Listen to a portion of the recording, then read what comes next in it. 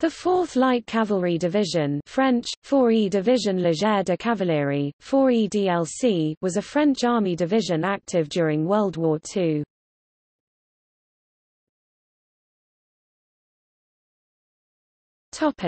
World War II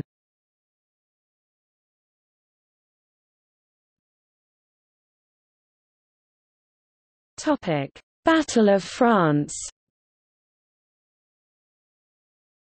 During the Battle of France in May 1940 the division contained the following units. 4th Cavalry Brigade 8th Dragoon Regiment 80 Regiment de Dragons. 31st Dragoon Regiment 31e Regiment de Dragons.